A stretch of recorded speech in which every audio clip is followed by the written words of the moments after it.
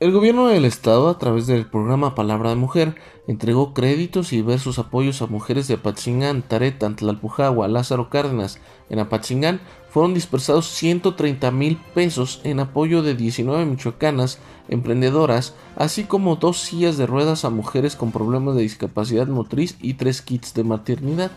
En Taretlan, Talpujagua y Lázaro Cárdenas fueron entregados 100 mil pesos en créditos grupales a 20 mujeres. Irma Díaz, originaria de Apachingán, agradeció al gobernador Silvano Rodríguez Conejo por la implementación de este programa que hasta la fecha ha beneficiado a más de 150 mil michoacanas de todo el estado. Gracias por este apoyo que nos han brindado en estos tiempos difíciles, nos van a servir mucho. La verdad, estoy muy agradecida con este programa, manifestó. Informo para Red 113, Javier Magaña.